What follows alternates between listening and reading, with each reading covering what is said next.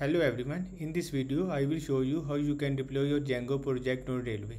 Railway is a platform that is totally free where you can deploy your projects. The project can be Django project, Node project or any other technology project. I am on the official website of Railway. If you want to explore Railway in detail, you can explore their official documentation by going to this dog, docs screen.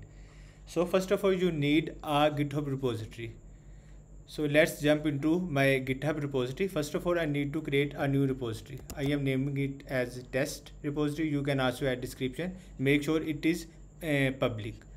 So uh, i i will create my repository here. After creating your repository you need to go back to your railway screen.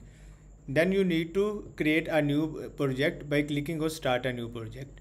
It will show you uh, where I want to get my code. So I am deploying from GitHub repo.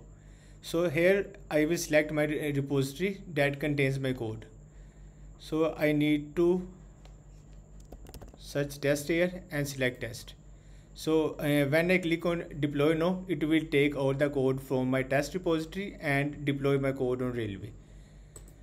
So let's jump into the uh, VS Code to show the further files so this is my Pipfile that contain all the packages installed in my project. This is the project i am going to deploy on railway. First of all you need to create a Procfile in the root of your uh, project. You can uh, create the Procfile uh, Procfile by by running the command touch Procfile without any extension. When i click on when i click enter it will create a Procfile for me so you need to write this command in this Procfile web colon gunicorn and also you need to install gunicorn in your project by running pip install gunicorn. As you can see it is already installed in my uh, in my uh, packages list. Once you install gunicorn uh, you need to uh, write this command in your Procfile. Web colon gunicorn the name of uh, the name of your project. In my case it is songs app backend. If you, the name of your project is test you can write test. And make sure its extension is wsgi and this is wsgi pipe that we use for deployment purpose.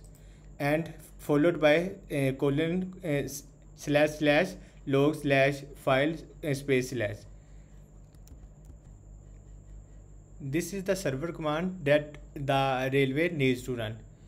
As my project needs two servers so i will paste my other server as well. If you only need uh, if you are the your django project is simple that only need a single server so you just need to write this command. After that you need to create your requirements.txt file.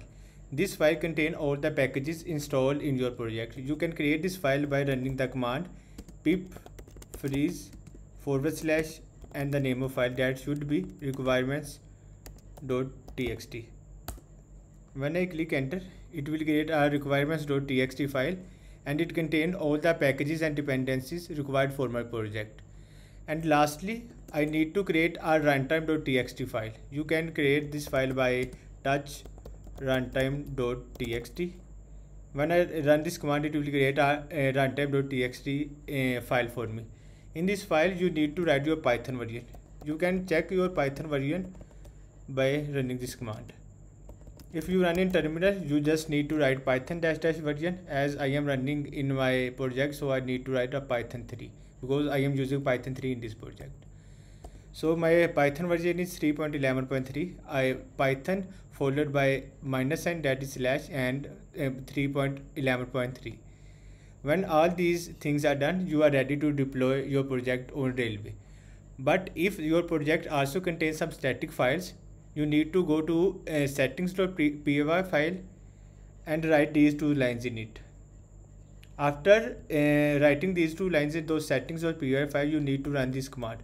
That is python manage.py and create static you once you uh, run this command it will create a static files folder with all the static files required for your project. My project uh, don't contain any static files so it will contain the default static files for me. After doing all these steps we are ready to deploy our project on railway. Now we need to push our code to the git repository that we just created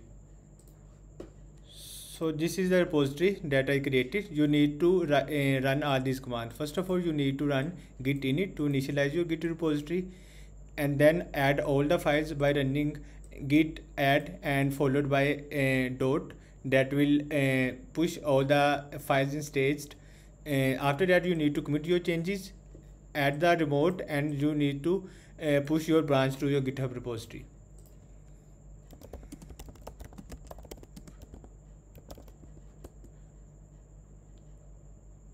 as you can see a repository is already attached to my uh, to my Django project so I don't need to run these commands. I just need to push my code and it will push the code in this repository. First of all I need to add my changes. Commit my changes.